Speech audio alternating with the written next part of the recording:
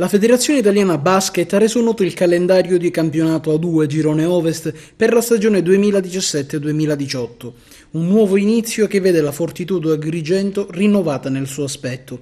Nuovi giocatori, vecchie glorie della squadra, tante aspettative e tante speranze.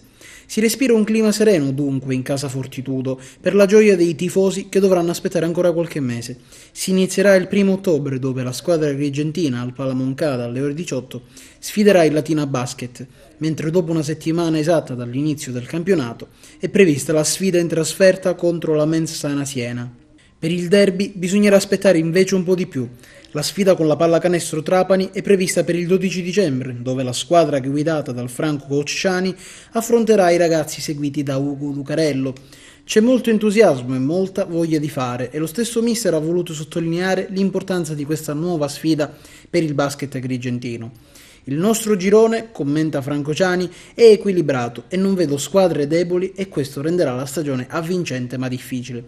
I nostri giovani hanno freschezza ed entusiasmo da vendere, la nostra squadra ha bisogno di calore, il pubblico dovrà essere dalla nostra parte. Sarà, conclude Franco Ciani, un precampionato molto impegnativo.